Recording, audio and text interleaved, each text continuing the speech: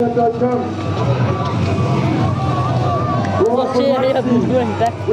to 34, Cruiserman, Hayes, Carter, Powell, Brecklow.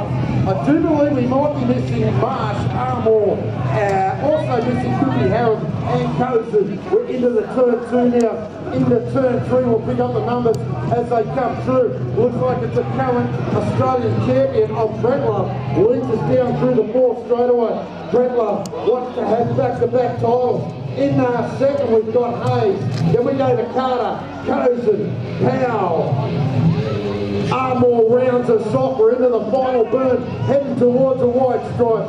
Trentlove's going to be too big, too strong. Led all day, done it again. Trentlove crosses the line in one. Then we go back to Hayes, Carter, Cozen,